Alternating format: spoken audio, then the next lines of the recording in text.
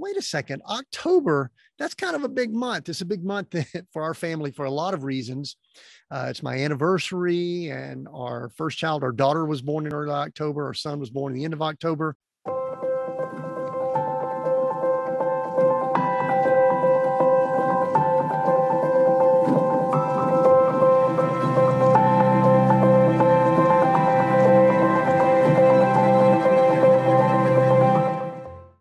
Everyone. Welcome.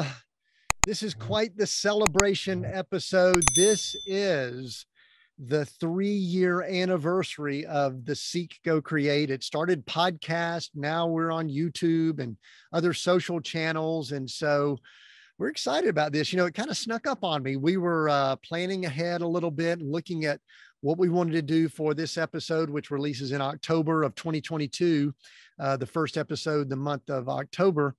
And we started looking at it and go, wait a second, October, that's kind of a big month. It's a big month for our family for a lot of reasons.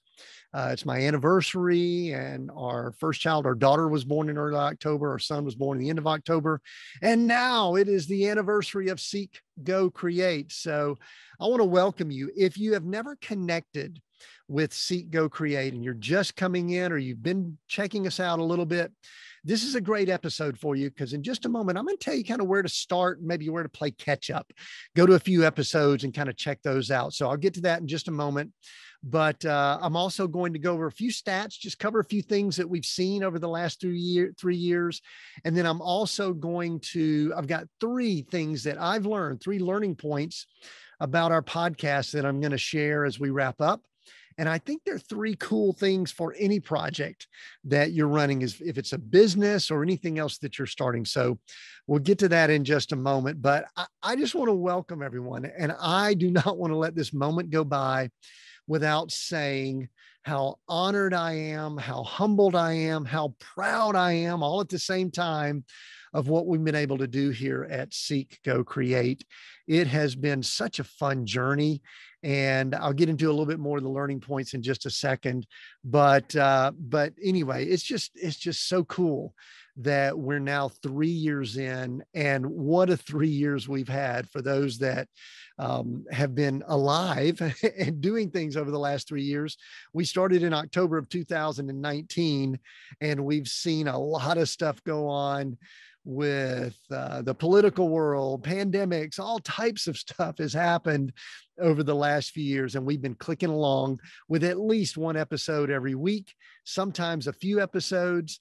And uh, and it's just been so much fun, so much fun. So I do want to do this though before I kind of get any further. If you are just now coming in and and joining some things we're doing at Seek Go Create, I want to give you a few places to start to play a little catch up. I'm the host. I'm Tim Winders.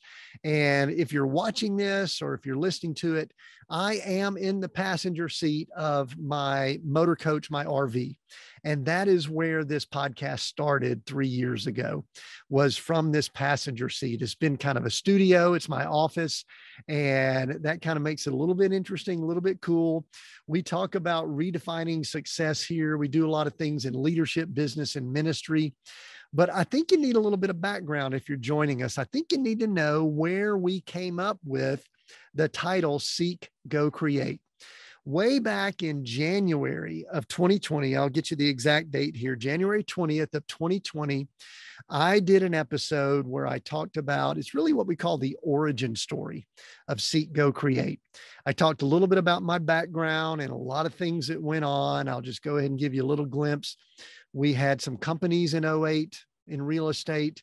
And by 2013, we were homeless, bankrupt, and we're living out of a Honda van. And so I talk a little bit about that. And we're doing well now. We're traveling and living in our RV, and, and a lot of cool stuff's going on. But I talk about the origin story of where the words and the title Seek, Go, Create came from. I think it'll be a cool episode to go listen to maybe first before you catch up on some of the other episodes. So that was January 20th, 2020, the origin story. Another episode that I think will really be helpful for you was our 100th episode uh, anniversary, our 100th episode of the show that we celebrated. That released May 3rd of 2021. And one of the things that we do, we have a number of solo episodes, but I love doing long form interviews here and talking to people that are in areas of leadership and business and ministry. And at the end of every episode, I ask a question. I say that we are seek, go, create, and I give the guest one of those words over the other two? Which one resonates with them or means the most to them? Seek, go, or create. And so, one of the things we did on this 100th episode, we had a celebration, talked about a number of things, but uh, my son, JK, who does the engineering and editing and really makes a lot of this stuff sound good, he actually took and compiled up to that point a lot of the responses and mashed them together into a segment that was phenomenal. So, if you want to hear the essence or the flavor or a lot of what we stand for here, go listen to that 100th episode and listen to that compilation that my son JK did to put all of those answers together from guests it was phenomenal. Again, that was May 3rd, 2021. We'll have links if you're checking this out on the podcast channels or on uh, or on our website that you can go and click on these episodes to check them out. And then I want to mention one other thing. People ask me all the time, "What is your favorite episode? What is the episode that that I need to go listen to?" And that's pretty darn tough because we're 175 episodes in, and I'll tell you, it's kind of like when someone asks, who's your favorite child or something like that you you you can't really answer and sometimes you don't want to. They have all been so nourishing to me and enjoyable to me and i think they've all served a purpose in various capacities with the message that was that, that came across or the conversation that was had or or or whatever it was and so they've all been incredible. However there is an underlying theme to seek, go, create. And that is when I went back at around that time and looked backwards at all the episodes we've done, it seemed as if almost every episode had this theme of redefining success. Someone had success in their mind, something that they thought it was, but situations, life, mistakes that they made, something happened that was a catalyst that caused them to redefine what success was. So, redefining success is kind of in our ethos. It's really what we're all about. And there are two episodes, we'll put links down in the notes that I think say this as well, if not better, than any other episode we've done. And it's really interesting that both of these interviews, the person I interviewed spent time in prison. Now, we don't look for people that spend time in prison, but it's really interesting if we look in our culture, society, our world at some people that may be at their lowest point and are being forced to redefine what success means to them.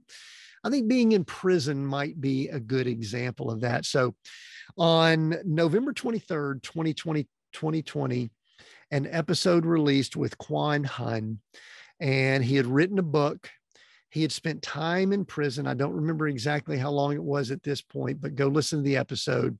He had actually murdered someone. He was in a gang.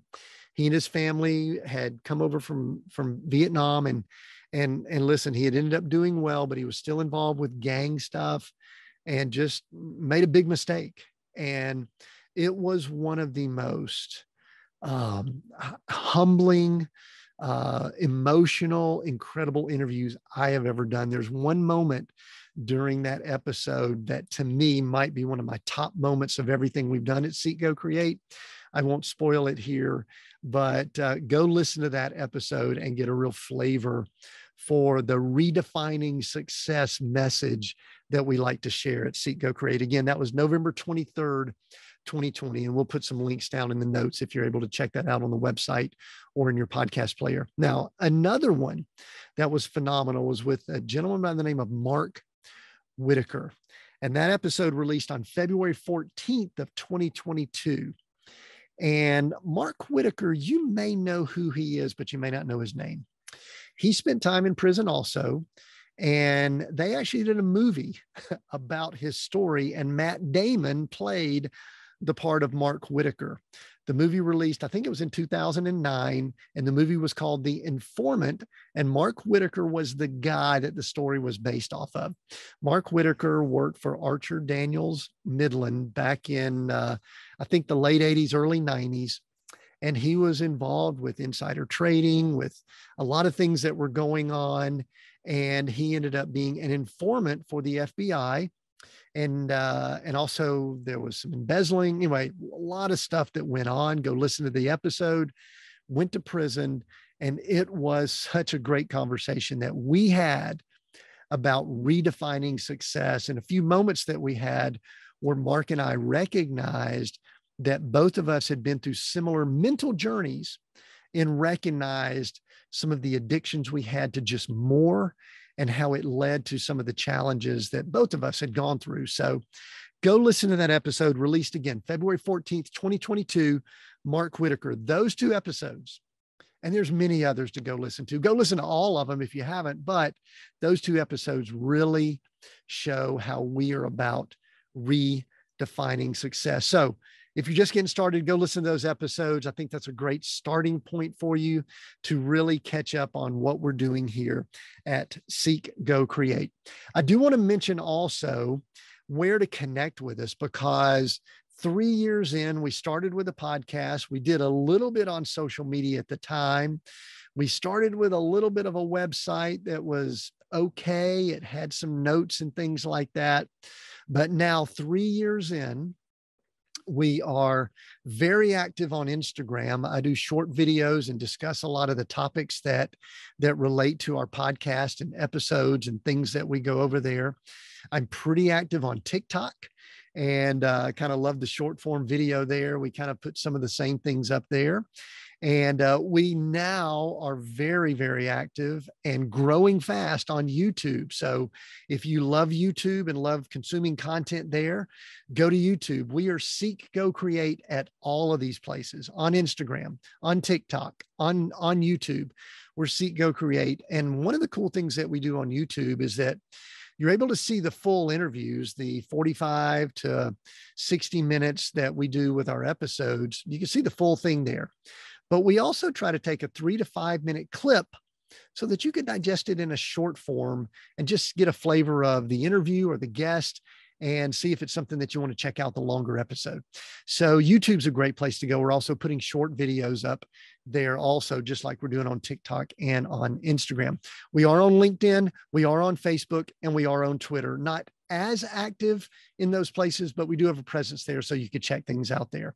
In fact, we typically do a behind the scenes of our Seek Go Create interviews and our podcast on our Facebook page, which is also Seek Go Create. So if you're uh, following us there on Facebook and uh, click to get a notification when we go live, with our behind the scenes episodes, then uh, then that's a good spot where you could get the content and you could get a, get it a little more raw, maybe unedited there, and maybe engage with us there. So those are all of the places that we are now. But one of the things that I really love, and if you haven't checked it out, make sure that you do this. On our website, seekgocreate.com, we have a, an awesome website now we have someone transcribe all of our episodes and they put it in outline form. In other words, it's not a pure transcription. They take the highlights and they put it with all the links, everything that I've mentioned so far, the episodes, they'll be there. And you can go there and check out the links. If there's any resources or additional training or other things that you need to check out, episodes or things like that, then uh, then the website is a great place to go to get more detailed notes and another thing that's really cool is that if there's a portion of the podcast that you really want to go back to, maybe a timestamp 20 minutes in, you can go there, click on that, and it'll automatically take you to that section of the podcast to listen in, listen again, and uh, take some notes or something like that if you choose to. So, we've got a lot of things going on. I'm so proud of all that our team has done to get us in all of those places. And we've got people literally all over the, over the world helping do those things that we're doing at Seek Go Create. And then one other thing I want to mention there, if you go to that uh, that area, uh, go to our website at Seek Go Create, scroll all the way down to the bottom. There's a place where you can put your email address, give us your best email address, And about once a week, sometimes I skip, but usually once a week, I'll share something typically as we're out on the road traveling. And it might be about the most recent episode or just something that I'm studying or some resources that I believe are valuable that might help you in the areas that we that we focus in leadership business ministry or just general things that are going on so make sure you go join up and that we've got your episode so that you can be part of what we're doing with the Seek Go Create community. A few stats that I just want to share with you because this just kind of blows me away. We've got, you know, thousands and thousands of downloads. We've got incredible numbers of unique listeners. But the thing that was so cool, I checked right before I jumped on here Seek Go Create has been listened to via our podcast. I don't know about YouTube and some other places, but the podcast in 82 countries. And that just is so amazing to me that three years ago i sat down in this seat in the in the passenger seat of my rv flipped on started recording and a few years later three years later now we've had people in 82 countries. I am so excited about that. And regardless of where you're listening in in from i just want to welcome you and just let you know how thankful that i am for you and all that you're doing to just be part of what we're doing here at Seek Go Create. People ask me all the time, what's your most popular episode? And and it's kind of weird with the way podcast numbers work. Some episodes do extremely well, some do well. And uh, I'll just say that the one year anniversary episode, our one year anniversary, has had right at 5,000 downloads. And I don't really know what it is about that episode, but it just went bonkers and did real well. And and uh, others are close to that one, but that one year episode, one year anniversary episode, is the one that's really gotten the most downloads. So uh, that is our number one most downloaded episode. So, anyway, again, we are just having so much fun with things. The thing that I want to do now is just talk about some lessons that I've learned during this podcasting journey. And I do think these lessons, so if you're listening in, you're going, well, I don't, I'm not planning on doing a podcast, but these are good lessons for business projects, something that you may be thinking about doing. I actually think they're valuable. So, three big lessons that I've learned over the last three years. The number one thing, and I think this is valuable in so many areas, and that is number one, just get started. And I think back to where I was mentally and some things that were going on. My wife and I, Gloria and I, had been traveling in our RV for right around uh, 10 months when we started the podcast. We were on the coast of Oregon. I was the the RV was pulled up to Coos Bay in Oregon, and I'd been working with a business client. I'm a strategic coach for leaders, and so I was working with a client, and I was actually helping them with a podcast. And because I'm a big podcast fan, I've been listening to podcasts for a long time. And I was helping them with the interview and doing some things. And I had somebody pretty strongly say, Tim, you need to start a podcast. You're really good at doing interviews. You're you're really good on the microphone. You should start a podcast. And maybe because some of the things we've done in the past in business and some other things like that, I was just kind of like kind of shying away from it. But I, I talked to some other people and was encouraged by my wife and some others in our family. So I said, okay, let's get started. Got a microphone, got a little bit of a, a setup here in the passenger seat of the RV, and with uh, the water of Coos Bay just a few feet off from the front of the RV, I pushed record and with a shaky voice started that first episode, which was the title of it was Homeless and Bankrupt. And it was me going through the story of our business journey that was in 08 that led to us in 2013. That was what season one was all about. And uh, that was how we got started. And so it wasn't perfect. The sound was interesting. Someone in an early episode, I think it was my daughter, said, You know what? I could hear mom breathing in the back of the RV. So the microphone I had was picking up everything. And anyway, the, the quality's still okay, but it wasn't perfect. And a lot of things we did we're not perfect, but if you've got a project, if there's something that you feel like you should do, you've been nudged, you've been encouraged, people are telling you to do it, just get started. Just get started. I mean, because we we've we just got started And now we are three years later and 175 episodes in, and people listening in 82 countries. And wow, I'm just blown away by that. So just getting started is my number one lesson that I've learned. So don't delay, get started. Second big lesson, and it kind of relates to that, but it's a little bit of a secondary thing, and that is be consistent. Be consistent. And in podcast world there's this there's this thing they talk about is you know people get started but then they start you know being inconsistent. They were releasing an episode every week and then they do it every month or maybe they take time off. And there's nothing wrong with seasons and things like that but if you go to podcast players and search i did it earlier today i kind of had an idea for another podcast and i went and searched and sure enough, there was a podcast out there for this topic. And way back in 2017, they did two episodes and then quit. I guess they quit. I don't know what happened, but they did two episodes. So, so be consistent. And another thing, and this is for a lot of things that we do, starting businesses or projects and things like podcasts, YouTube channels, things like that. Don't really be super concerned about the results get consistent and get excited about the activity and doing the work. And one of the things that I just told myself I committed to when we got started was that I wasn't going to look at a lot of the metrics. And I'm a numbers guy. I love numbers. I'm an engineer by training. I love looking at data.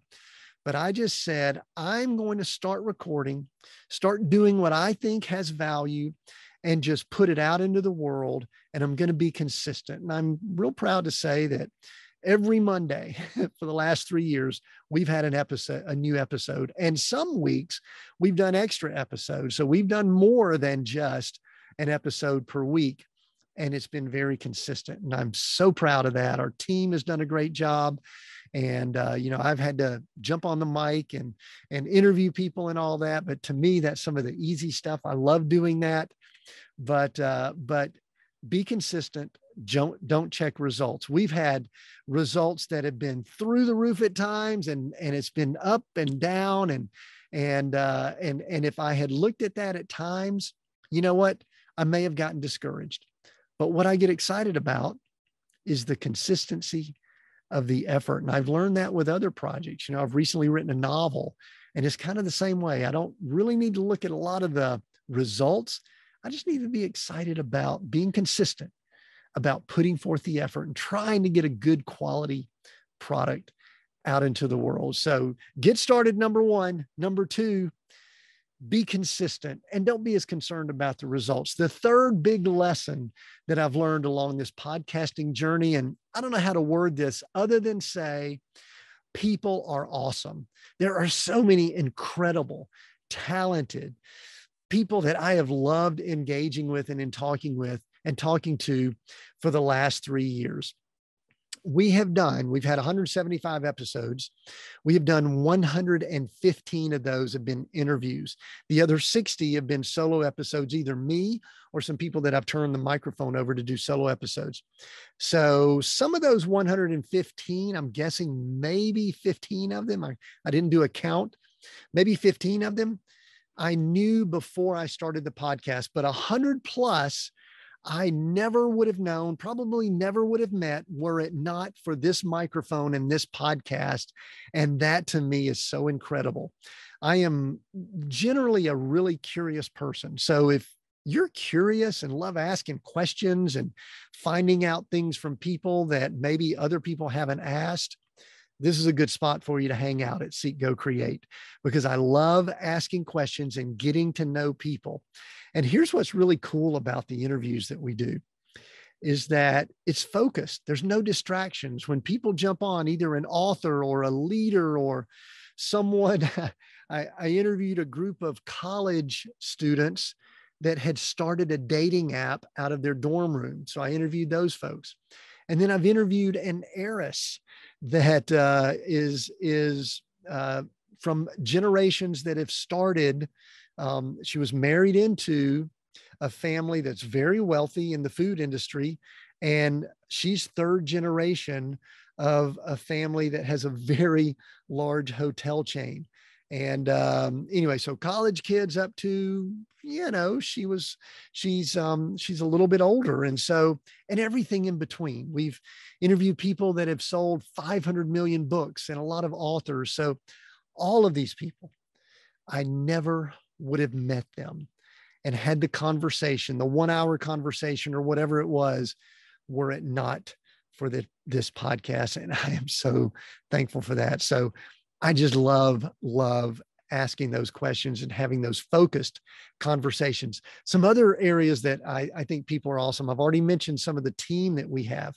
I have learned some people on our, in our family are so incredible with their talent and skills. My my son and my daughter and my wife is phenomenal. She does incredible things. But we've got people on our team in uh, over in Vietnam, in Pakistan, and in other parts of the world that are helping us do what we're doing here at Seek Go Create. And it's just another area of category of people are awesome. And then I've also been able to connect with these interesting groups of other podcasters.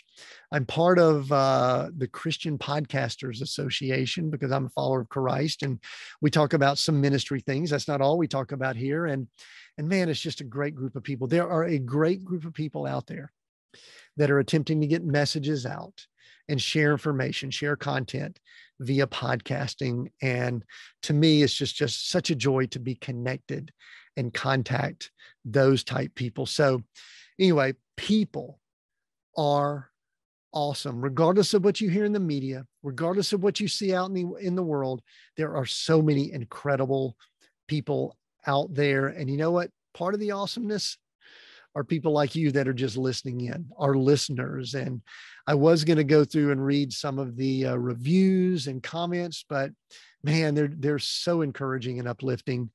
You are awesome for listening in and helping Seek Go Create go out to the 82 countries and all the people that are listening in, and you share it and you engage with us. And so, anyway, so the third big lesson that I am so thankful to be reminded of is that people are awesome. People like you, people like the people we interview, people that are on our team, and other podcasters out there are awesome. So my big lessons, and uh, and I think they're good for other things. Get started, be consistent, and remember that people are awesome. And I just want to remind everyone that uh, three years in I am humbled by all that's gone on. I am so thankful for everything that's happened here at Seek Go Create.